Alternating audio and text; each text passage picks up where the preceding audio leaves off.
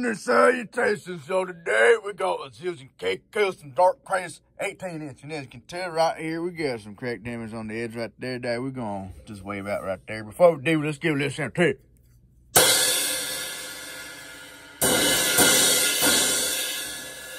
Yeah, let's fix this bear. All right, y'all, we're back with the Zildjian K and Dark Crash 18 inch. And as you can tell right here, we fixed a crack here along that edge right there. Now it's smooth as butter, so let's give a little sound.